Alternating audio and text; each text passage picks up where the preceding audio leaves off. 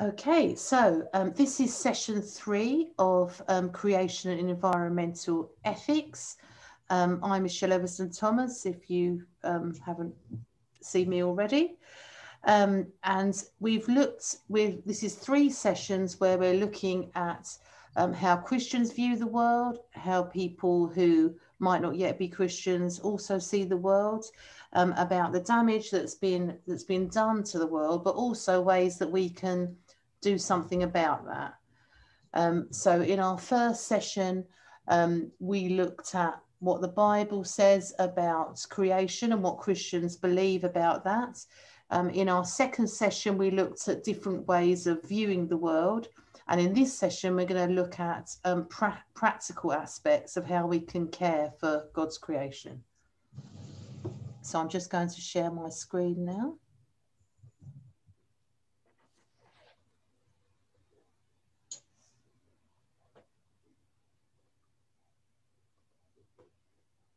Can you all see that okay?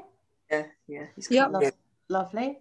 Okay, so I'm just going to move it over a bit so we don't, I can see you and still see the screen at the same time, which is beneficial rather than not being able to see the edge of it.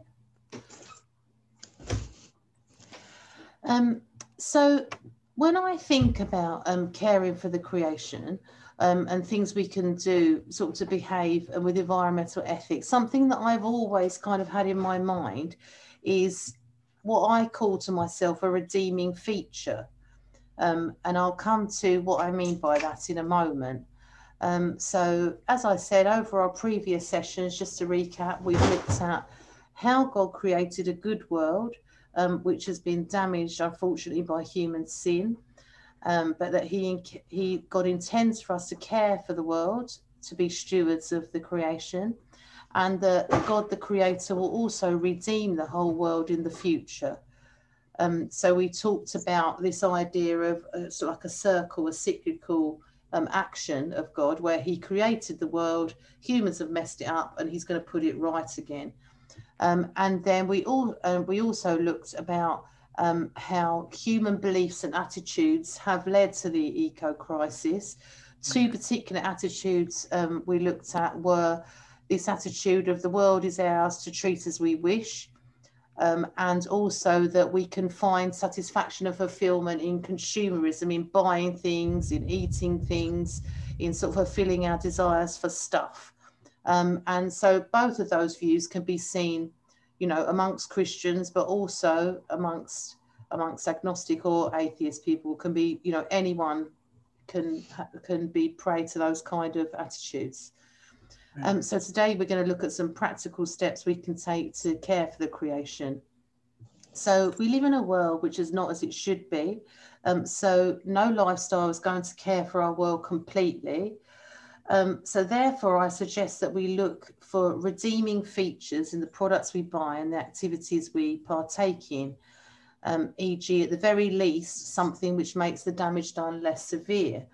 So I suppose if, if you were in a position where you could um, own a farm and grow grow produce on the farm, care for your own animals, then it might be possible um, to truly care for the creation.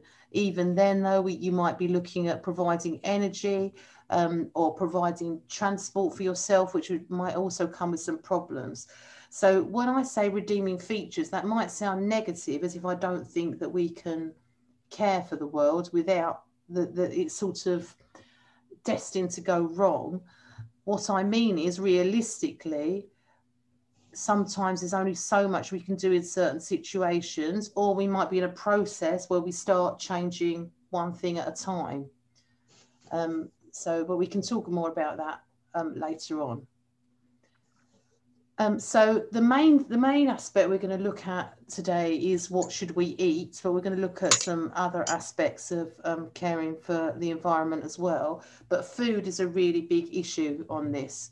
Um, so two particular um, things that I want to talk about are organic food and a vegan diet.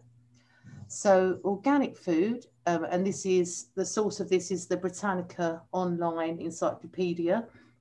Organic food means it is produced without the use of man-made chemicals and does not contain genetically modified organisms. It can be bought from local farmers or from supermarkets by looking out for the organic standard certification on the label. Um, so if you can't go to a farmer that you actually know personally, um, then there's certification, there's certification on the label that you can look at when you're in the supermarket. Um, it does, sorry, that should say it does not always address animal welfare, but it does benefit the environment, particularly the soil. Um, organic products are usually more expensive, but considered to be healthier. Sometimes poorer countries export all their organic products to wealthier countries, and the organic certification can be too expensive for some smaller farmers. Um, organic farmers may still use fossil fuels.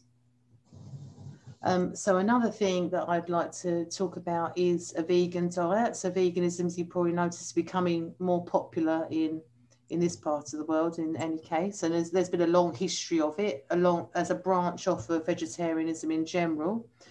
So a vegan diet avoids all foods and ingredients from an animal source. People following this diet also tend not to wear clothes made from animal products either. It is usually a reaction against the factory farming system um, where maximum profit is obtained at the expense of animals being treated respectfully and with due care. A vegan diet can provide all the nutrients ne necessary to humans. Livestock farming is a major source of methane emissions, and meat production requires more water and land than vegetable production. So, following a vegan lifestyle can counter climate change. Um, so, that was also based on information from Britannica. Um, obviously, I know a lot about this being a um, following a vegan diet myself as well. Um, so some other aspects of of foods um, to think about. It's quite overwhelming when you think of all the different um, aspects there are. Um, so where food has been seen to be in short supply, where there's been too much taken from the environment, um, there has now been a push against sustainability.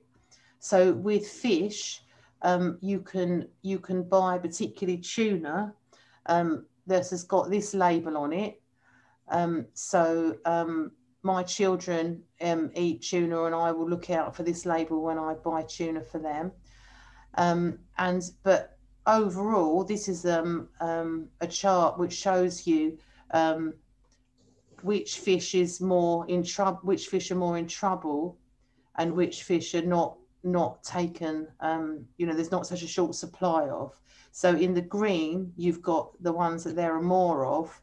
Um, and then in between, you've got the orange and obviously the reds where um, there's been overproduction or overfishing of those particular fish.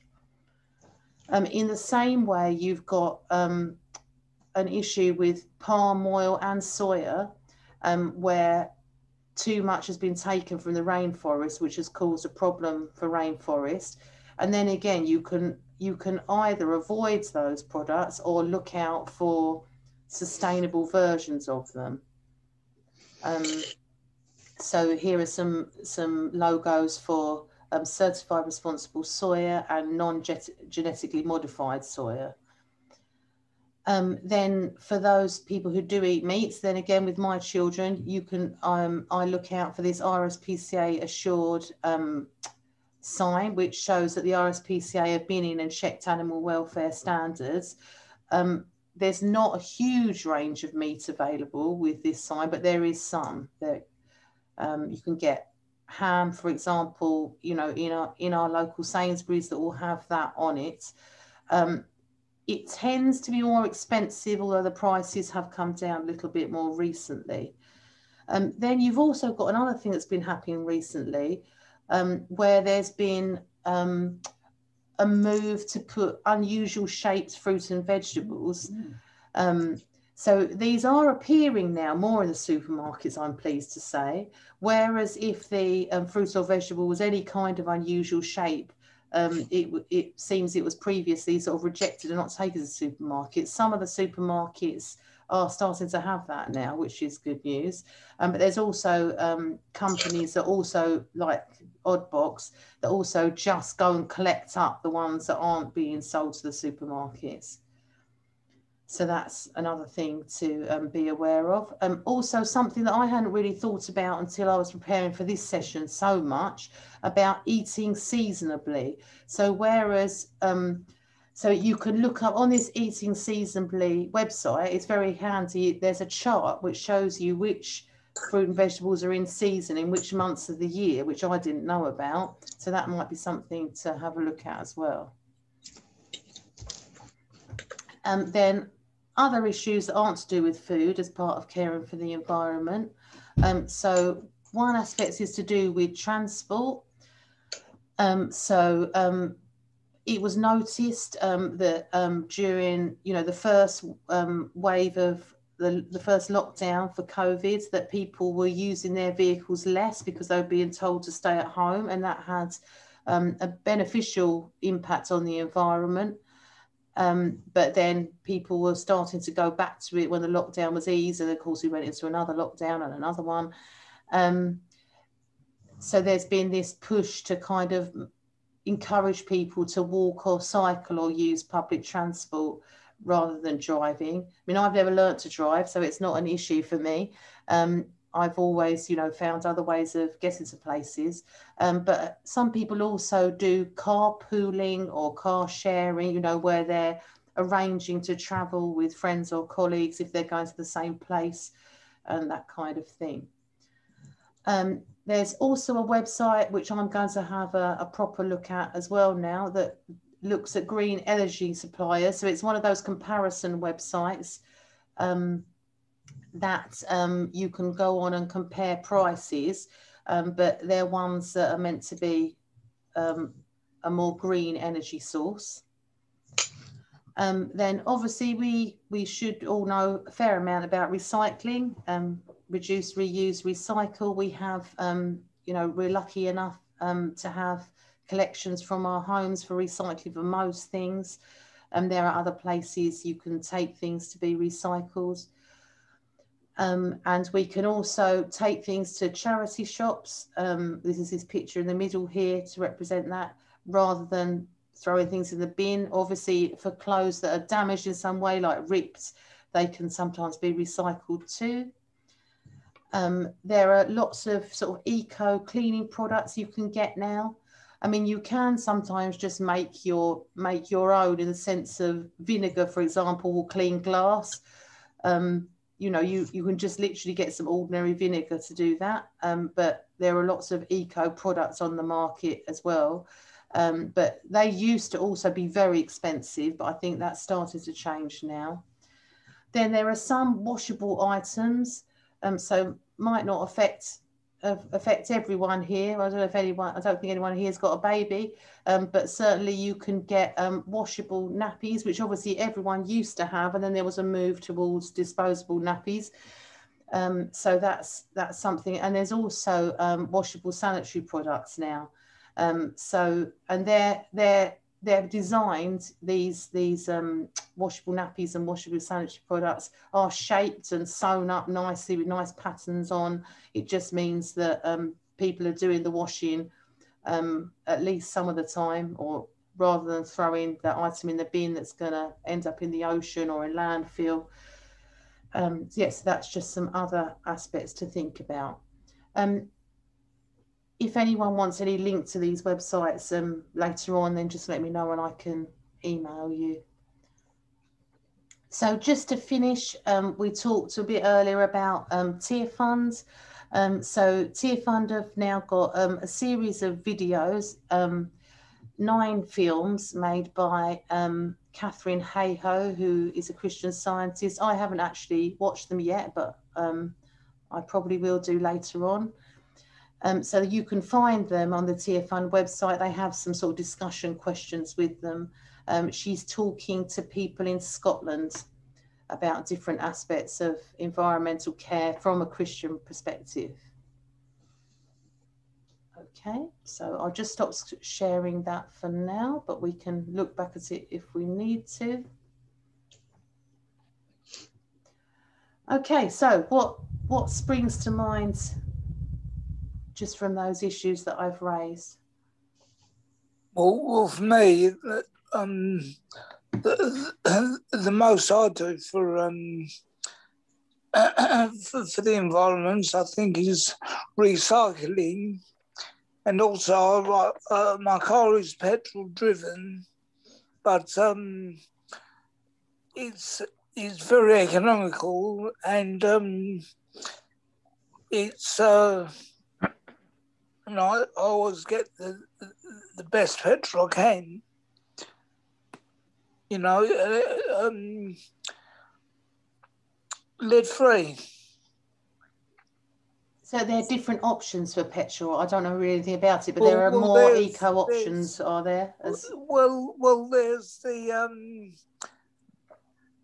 there's um, the ordinary ordinary lead free, and then you got like the supreme lead free, which um, it's it helps the car run more efficiently, which is better for the environment and it, it burns at a less um, costly rate as well.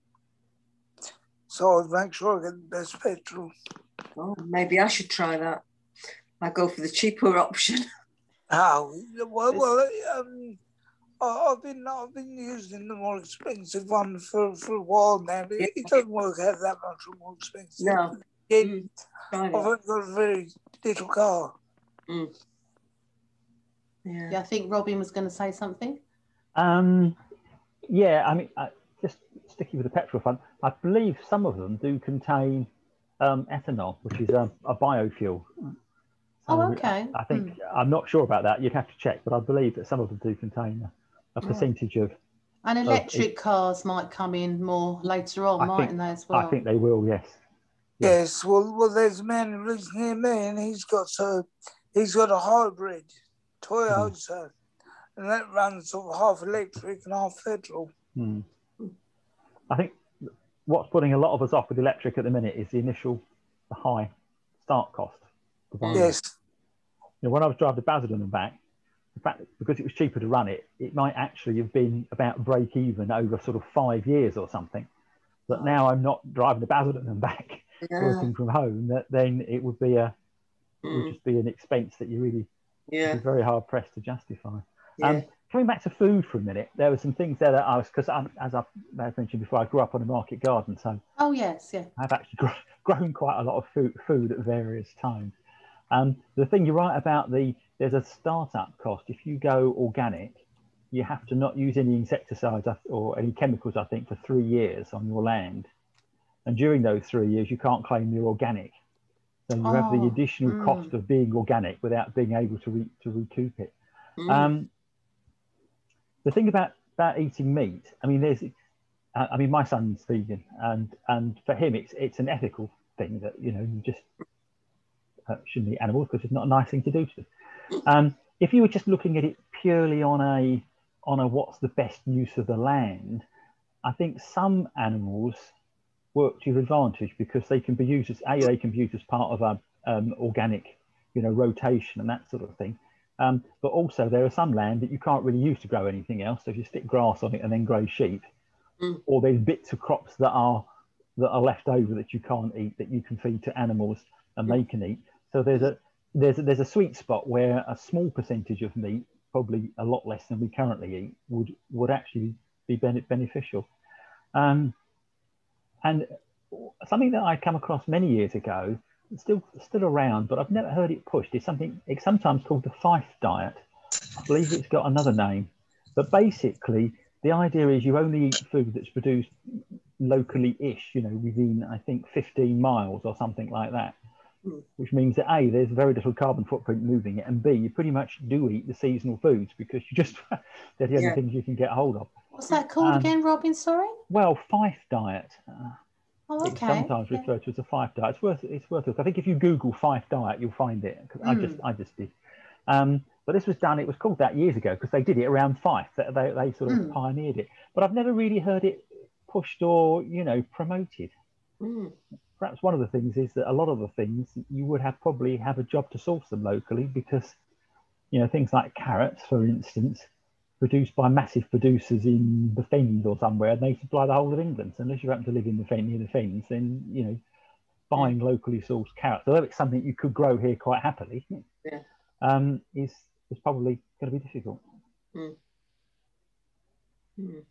I think we may start seeing more of a push towards buying locally and Yeah. towards eating seasonably. Well, I think through Brexit, I think that's Yeah. going to push it a lot faster than it would have ordinarily been pushed because people are finding it very difficult to to import all the things that they did. I know I read one article that Yeah. said that imports have dropped to 58% of their hmm. normal level for this year since hmm. Brexit. So the things that we would buy out of season from other countries in Mm. you know we get a lot of our strawberries and tomatoes and things from spain those sorts of things aren't going to be so accessible now Mm. so we may find this drawback to eating seasonably and therefore Mm. more sustainably Mm. just out of convenience more than Mm. anything else Oh, that's good. The there's one or two big growers of tomatoes in the UK now. There's one down on the Isle of Thanet, where they basically built a small power station. So they burn gas, which is the most. If you're going to burn a, a fossil fuel, they burn gas, produce electricity, and then use the heat and some of the carbon dioxide produced from burning the gas to heat the glass houses, Oh, that's which good. is a, a, a neat solution. Mm, But, Mm. um, yeah.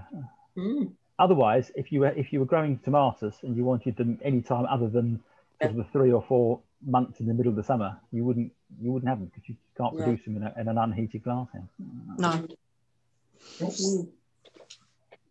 Yeah, I, d- I didn't know some of when I did some more research. I didn't know some of the things about organic um, food. I didn't know so much of some of the more negative sides of that until I researched it, Mm. and I didn't really know that much about um, eating seasonably. Obviously, I knew that you you know we can import import lots of things, but I hadn't really sort of thought about that so much. Um, so I suppose I mean it. I suppose it's it's more of a worry as well if organic has become a, to some degree a bit of a thing for wealthier people in the world rather than the poorer people in the world that's a bit of a concern but then it does it does do something to care for the land so i suppose like lots of things it's a bit of a mixture Mm. because I know- only if it's only if it's soil association certified organic though because you can put Mm. the word organic on anything and there's no way of that there's no you don't have to have proof you Mm. don't have to have any sort of certification to put organic on something only if you're soil association certified that's the only time you have to have Mm. certification anything that's organic can be even things that say they are organic it can be uh, you know 2% 3% 4% there's ridiculously small limits to what it can be I and didn't know that. organic Mm. it, it's it, it's what um, they call greenwashing. There's a lot of it around now where um, sustainability and climate change and organic things are becoming much, much more popular. It's very much in big businesses' interests Yeah. to look like they're making this effort, to look like they're putting this money Yes. into sustainable Yes. causes. So therefore, there is a lot of greenwashing. So things that say they're made from natural products and things that say they come from a sustainable source and the plastic's made of 50% recycled plastic but the other 50% still virgin plastic which then because it's mixed can never be recycled again and things like that Mm. and it's very very lucrative for big business to do this and it's very easy for it to pass through all sorts of trading standards and Mm. not get caught Mm. and not even be questioned. You'll always get people that try and make money out of anything, though. Oh, won't you? I yes. think- I think Gary was going to say something. Sorry, Gary. No, I was, I was agreeing with you, Natalie. Uh, That's all I was doing. Are, are you organic then, Nat? Do you, do you eat organic things? Oh, right. I'm vegan. You're vegan, I'm Oh, right. vegan, but Oh, I'm no. not. not organic. No, So- no. no. Yeah. It. Uh, they- they do. I mean, organic's much more to do with pesticides. Yeah, than, yeah. than anything else. Mm. It is partially to do with the welfare of animals, but it's very much partially. And obviously, if the organic movement gets bigger and organic farming gets bigger, it's going to go the same way as factory farming just because of cost. Yeah. It's just going to be that they don't use the pesticides and the antibiotics Mm. that they use. They'll Mm. find another way to do it. Yeah. So the animal welfare as a whole isn't going to massively improve by something being organic. It will just mean the pesticides and the the antibiotics won't be involved as Mm. much. I suppose it depends what your motivation is, whether you what Mm. what you choose, what your motivation. Mm. So if animal Mm. welfare is your main motivation, then you'll perhaps make a different choice. Somebody who perhaps other environmental issues are your motivation. Mm. Yes. Yeah, once you get a sort of a certified standard or something, then the, the, the, then the emphasis is trying to meet the standard rather than trying to meet whatever it was the standard was trying to promote in the first place. Yes, You know, right. by by whatever means you can get to.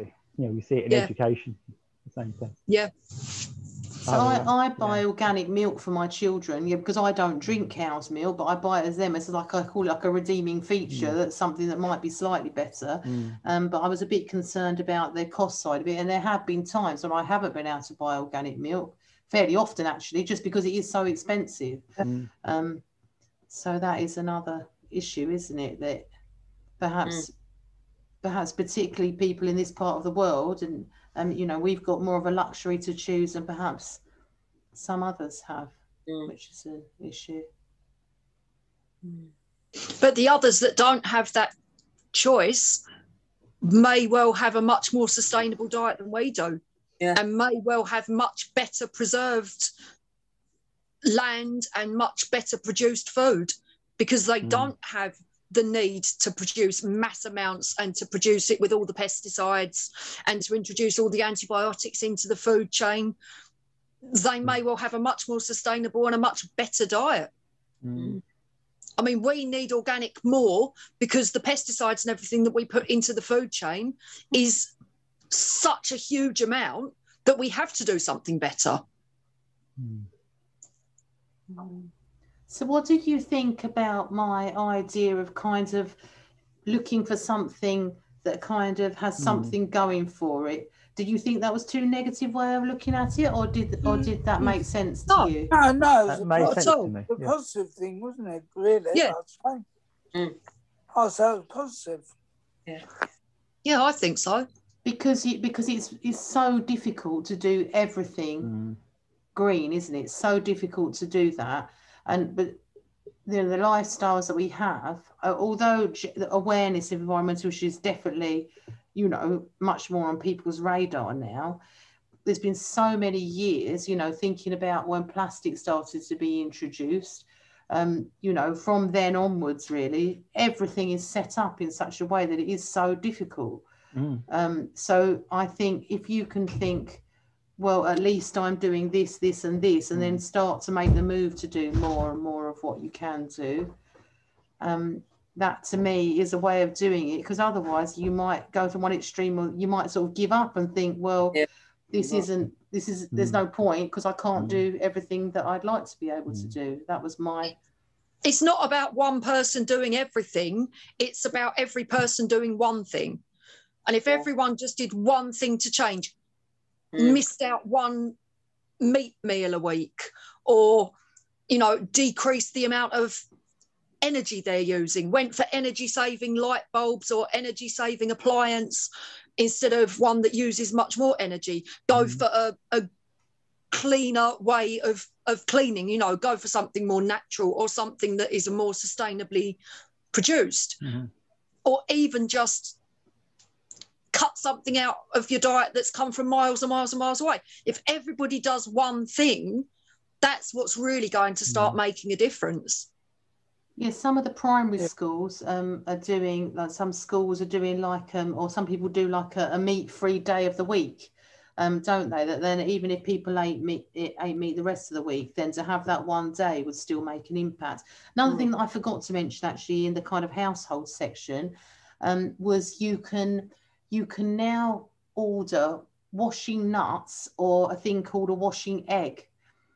Um, so washing nuts are actually, I mean, I don't know how they're imported. That's the other thing. And actually, in the first lockdown, I couldn't get them anymore, so I moved over to the washing egg. But anyway, basically, they're a nut that grows, and you put them in a little material bag, and they go in the washing machine, and they and they clean your clothes. My daughter And- had some. Say again, Liz? My daughter had some Yes, yes. a year or so ago. Yeah, she got hold of some through a friend. Yeah. And the eco egg has got some sort of mineral balls that go in it. So it's like a little plastic egg with holes in. Um, and you put you order the little mineral refills. So you keep the plastic and just keep refilling it, and it does 70 washes before you have to take it out and refill it. And that one's more scented rather than nuts don't really smell of anything. But some people add essential oils um, to make it sort of smell more. I mean, they're meant to be the the eco egg has definitely got more of that kind of laundry scent to it. But that's Mm. funny as well because I think we expect to smell that kind of laundry sort of smell, which is Yeah. lovely and makes the whole room Mm. smell nice. Mm. But actually, it's probably really, really not very good at all. And actually, to smell of nothing in particular other than it's just clean, there's nothing wrong with that. But I suppose Mm. we're so attuned to expecting that kind of laundry sort of smell, aren't we? Mm. So It's the same as we expect to eat tomatoes all year round. Yeah. Mm. Yeah. Mm. Yeah. Mm. It, it's just something that we we've grown to expect. Mm. Yes. Anything. and I think I Right. think I think you know um older generations to mine have said you know that meat used to be much more expensive and so Mm. people would have it less just because it was Mm. so pricey whereas now that the price you can get such cheap Mm. meat people are having it more than they Yeah. would have done in previous generations Yeah. My mum used to get a roast beef probably for Sunday, and it used to do on a Monday. We had a big family. Mm. used to spread it out. Yeah. Mm. Yeah, I think food, in terms of percentage of income, food is much cheaper now than it used to be. Oh yeah. Yeah. Like, you know, Definitely. dramatically Yeah. used to be. Oh dear. Mm. I mean, just just coming back to your tomatoes, if you may, if I may indulge you for a few minutes. um, it, up until about the mid 70s, I, I worked on a market garden and we used to grow in the summer predominantly tomatoes, which were cold house, glass house tomatoes. So there was little energy input. But they were, they were, we supplied the local wholesaler and they were supplied to loads of green grocers around Southend, Mm. restaurants and that. And they, they were shipped, we shipped them in wooden boxes. And when they delivered the tomatoes, they used to bring up, pick up the empty boxes and bring them back to us. We used to Yeah. refill them. Yeah. Yep. And they were probably sold in paper bags. Yeah. So the carbon Mm. footprint on that was, was, was nominal. You know, we used Mm. we irrigated with pump water, with uh, pond water, so there was no sort of impact on the water supply. Yeah. Whereas you Mm. say now, you know, if you buy tomatoes at this time of year, Mm. good chance they've come from Spain. Oh yeah. Yeah. Definitely. Mm. Well, they would have come from Spain actually if they've not come from Yeah. a hot, a heated glass house in the UK, something like that. No. you Mm. can get Yeah. refills for hand wash now, can't you? They haven't got the um, um, the the pump, but then they've still got the plastic bottle, haven't they? The plastic container. I mean, Yeah. it's a shame you can't sort of go somewhere and take your own thing and just sort of squirt it. I saw it that. in. I saw that being done in early in the year. I had to go. I can't Mm. remember right. It was one of the little supermarkets up uh, around Southchurch somewhere, and they were doing that. They had a big Oh, were tank of stuff with a thing, and you put it, gave it gave it a s- Yeah. squad. You know, they charged you fifty p for the for the Mm. contents. But There's a place in, in Leigh, isn't there, where you can do refills. Yeah, I know. Um, don't know. It's there used to be. I don't know if there still is, but there, the health food shop in Hockley used to do eco refills. Mm. I don't know if it still does, but you take your old bottles in and then you got a discount. Body Shop used to do refills oh yeah. many, many years. I mean, in, in the 1980s, Body Shop used to do refills. And Ah, they you- also used to recycle all of their bottles. Yeah. Yeah. Nat, you've got a lot of the shampoo bars and that kind of thing, haven't you? Which I haven't really got into as much, but they're they're Yeah. quite hard to, you know, we haven't even got anywhere that sells them locally anymore, have we? No, um, you've got some. Or you can order online, perhaps. You can, yeah. That's that's how I do mine. But you can. Um, there are some places like Holland and Barrett have started doing a range called Ethique, but they're quite expensive. Bet. So, um, and there's cleansing bars, shampoo bars, conditioner bars, moisturizing bars, all sorts of things, but they are quite expensive. But um, yeah, hopefully there'll be more companies. There are a lot more companies online, but hopefully there'll be more companies that are more accessible to everybody that start that. And they're just in a paper bag.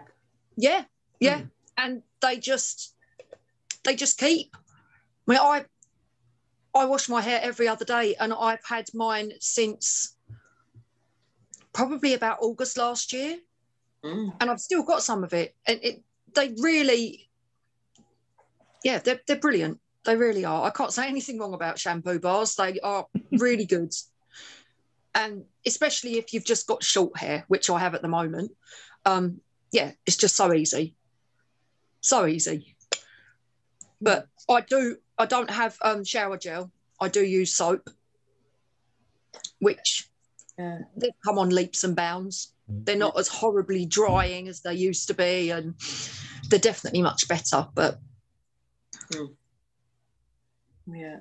yeah, I think that's where I kind of that's where I do the the environmental and the obviously recycling and things like that. Um, but yeah, a lot of the stuff, um, cleaning stuff and beauty stuff and things like that. That's where I do a lot of my environmental and clothes as well. Most of my clothes, probably about 90% of them come from eBay because when you start, I know Michelle's got a lot of information from a website called Fashion Revolution. And when you start looking at the amount of water and resources that goes into making something as simple as one t-shirt that you can get for £1.50 from Primark, you Mm. start realizing, yeah, this isn't good. Mm. We should definitely start looking at our clothes as more of a permanent fixture in our life rather than as a throwaway item. I just get mine from my sisters or the charity. Yeah, I, I've always got mine from charity shops. eBay's just a, an easy way of doing it, and it's a bit hit and miss. I mean, you can't try things on, obviously, but Yeah. But Mm. yeah, I, I I've got loads of stuff on there, and I've bought stuff. My my children, um, they're not so keen on it now, but Mm. you know they're in their twenties now, so they can go and buy whatever they Yeah. want on their own, and and I flatly refuse to buy new stuff for them. If they want anything, they have it secondhand. Yeah, definitely. Make it yourself. Oh, my Mm. nan always used to. Always new party dresses with the smocking. Always. But yeah, people don't do that anymore. Yeah. Mm. So, were there um, any other things on the um, PowerPoint that you maybe hadn't really thought about before, or were are interested to kind of look into a bit more? Say, I found out new things just sort of preparing that I hadn't necessarily thought about before, Mm. new aspects. Mm. What about the um, sustainable kind of labels? What do you think about those? Good. So you know, so if if like um, you know with the palm oil, so Oh, so I love peanut butter, for example, and a lot of peanut butter have got palm oil in, but not all. So No. so you can get some that has sustainable palm oil in, but now I just get that doesn't have any palm oil in at all. And because then I think well, it's just avoids that whole area, and you you just have to check the label to check, Yeah. you know. Um, and Yeah. I know, say with with tuna, a lot lot of tuna seems to have a label on it now.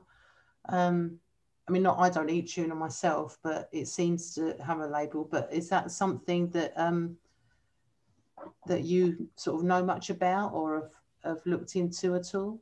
no, I didn't because I eat quite a bit of tuna, I suppose. Well, you know, but I don't really. Uh, yeah, I've not really seen. Uh, I got get it from Lidl, so probably their own stuff what they sell. So I must have a look actually next time. What label they've got on it? It's also the dolphin friendly stuff. Yes, what? yeah, The dolphin friendly tuna, because if it's line caught rather than net caught, Oh, okay. it doesn't catch the dolphins because the bycatch, when they catch the fish, Yeah. they just throw away. Ah, They don't even throw it back in, they just get rid of it. really? So that's why um, that's why a lot of the time tuna fishing is damaging to dolphins. So line caught tuna is better than net caught tuna. Okay. Oh, but how, how do you tell? It should say it on it.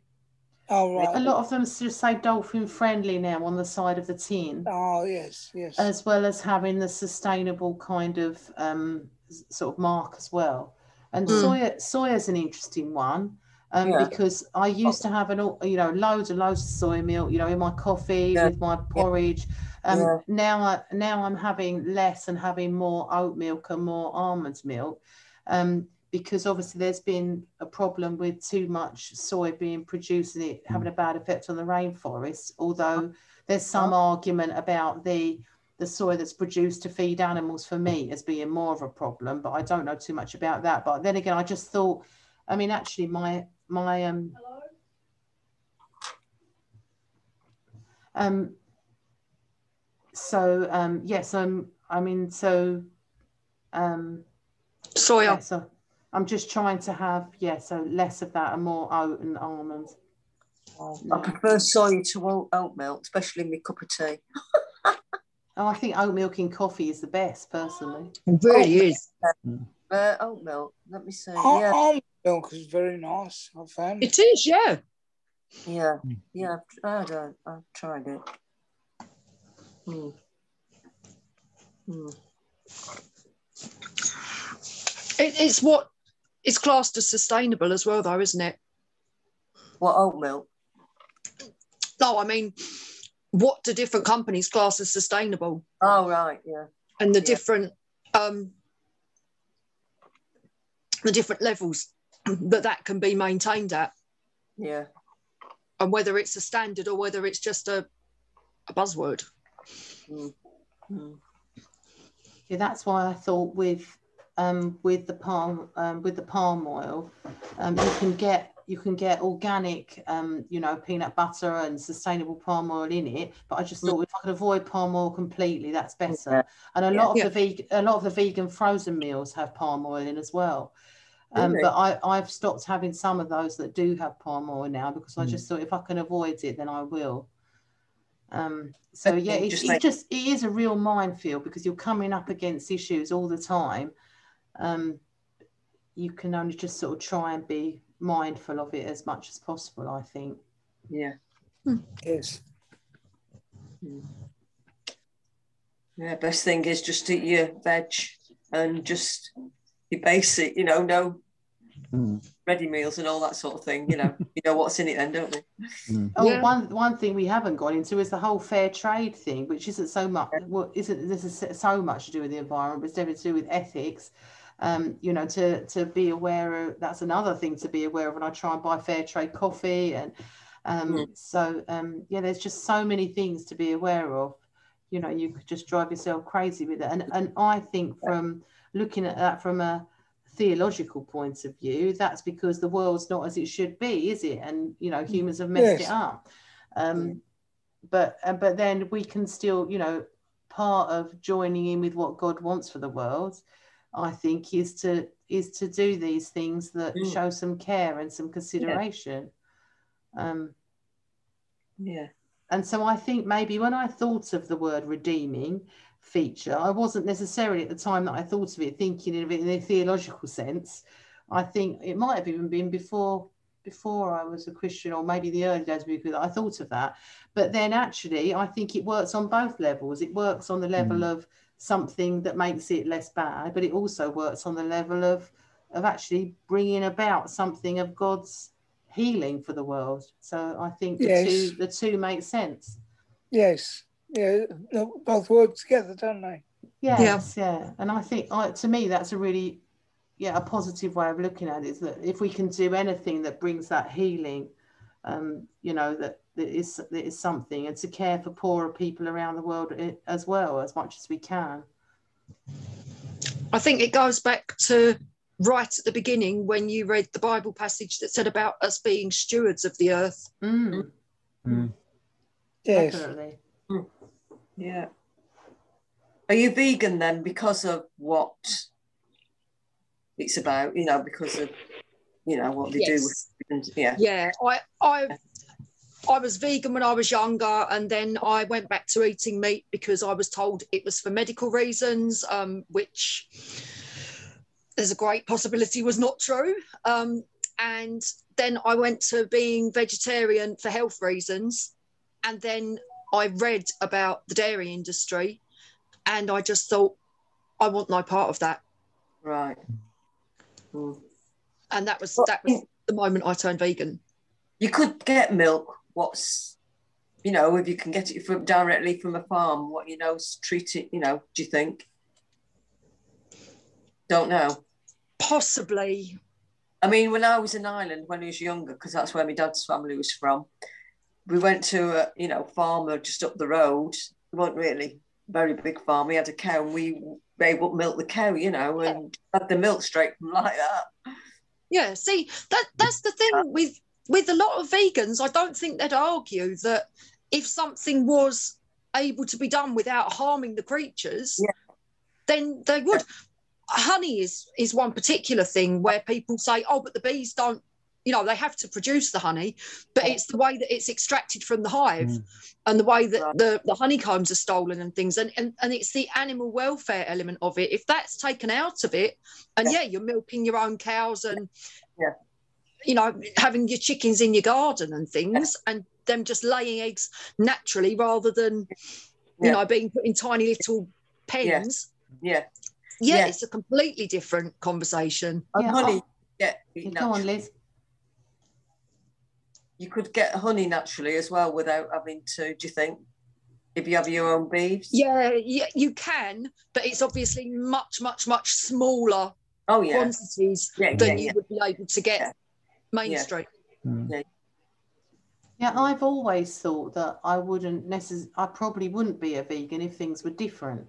Um, Mm. And if things were done on a much smaller scale, I think most people it's a response to farming that's you know we call factory farming because of the way it's done. That's Yeah. that puts that puts profit Mm. as a priority rather than anything else. Um, and so that's the reason why. Mm. And so I I was a vegan um, from about the same time that Nat and I met, from sort of 16, 17. Um, then I sort of went back to being a vegetarian for a couple of years when I was about 30. And then and then I went back to it sort of about 32, 33, I think it was roughly. Um, and but now that I'm a Christian, I look at it, I think I mentioned this before, you know, I had that ethic anyway, but it's given me even more of a reason to have it, having a faith as well. So that it Okay. just adds more to it in that respect. Mm. Yeah. Um, but I think, yeah, I think it's to do with. So I think some some vegetarians get very upset about animals being killed, but Mm. then again, if that was done humanely, although Yeah. I wouldn't like to see it necessarily, No. and um, if it was done humanely, that's not necessarily as bad as as an animal being be, being used for milk but being treated appallingly. So it's not necessarily the the the death; it's Mm. it's the the whole the animal's whole life and the way they've been treated. In Yes. in, in my view, Yeah. Yeah. Yeah. Yeah. Yeah. I know a girl I work with, she was really, yeah, vegan. Oh, God, in every single way. And I just spoke a little bit about God, but she, I don't want to know about him. But I had to listen to her about being a vegan, but she wouldn't. Well, yeah, I mean, well, yeah, I mean, obviously not everyone has that, but as I say, you Yeah. know, you could, uh, for me, the two things just go hand in hand. But obviously, obviously not. I mean, most people that are vegans probably aren't Christian, oh, and, no. and it, Oh. which just goes with something that I've said before as well that that that God works just as much outside the church as He does within it. Yeah. And God is, and to me, God is out there Yeah. giving that compassion to people, even if they don't Yeah. think that Yeah. He's God. That Yeah. is that is Oh, there. Yeah. She was a lovely Yes. girl, but oh, gosh, she was hot on the vegan. Some people are very militant now, aren't they, about it? A mi- militant vegan. Yeah, okay. Yeah, you you do get that. You do get that I more know. now. do. Yeah. Yeah. Yeah, Which yeah, which um yeah, it puts people off. Yeah. Yeah. It definitely. It yeah. really puts people off. the girls in the office they couldn't stand it that's all you could hear you know about uh, you know vegan. What should yeah?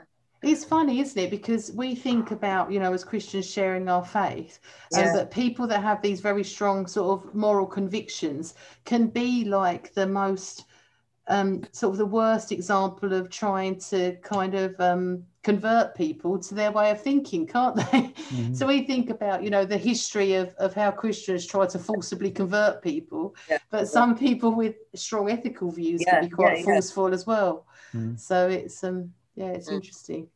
Yeah. It is interesting. So so has this made you think you don't have to say, but um has this made you think of anything else you might look into, perhaps doing in the future? I definitely want to look into, you know, uh, maybe the um the green energy and the eating seasonally, which Mm. is not something Yeah. that I've looked at up to Yeah. this point. Yeah, seasonally. Yeah, definitely Mm. That. Yeah. Grow your own and just eat when's in season, really. It's just when you Yeah. got a family. Well, no, my husband really. Um, he'll probably he likes raspberries and strawberry. well, not strawberries in the winter, you know. Mm. I just say no, I can't get them.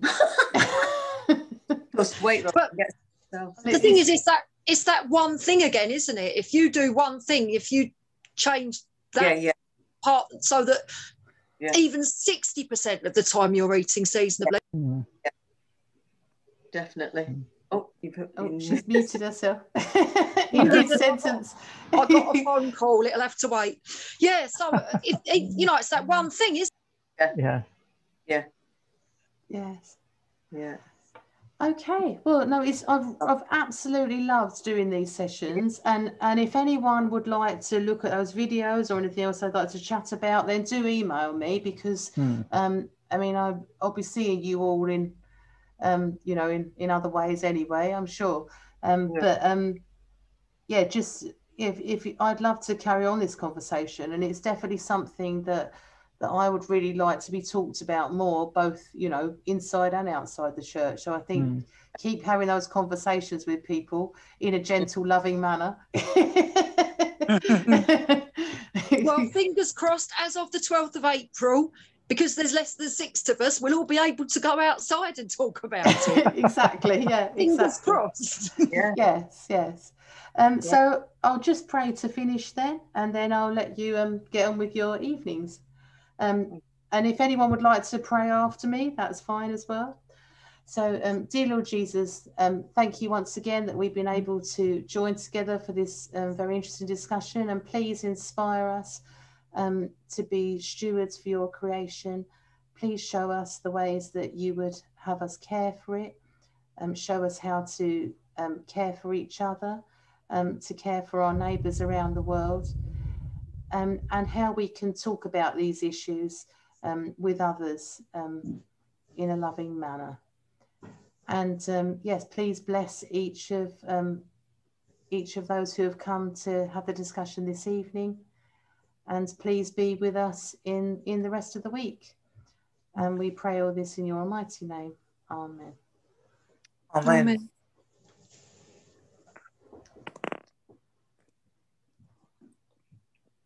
Thank you. Yeah, thank you, Michelle. Thank you, Uh, everybody. Yeah. Thank you, Michelle, and everybody else. Yes. Been really good. It's been a Yeah. good discussion, and I've in, in, Yeah. Yes, appreciated so- everybody's thoughts and comments and that. Yeah. No, thank thank you all. Okay, thanks, take take Right. care then. God bless. Yeah. See you soon. God bless you. Yeah. Bye. Take care. Good week, everybody. Bye-bye. Bye. Bye.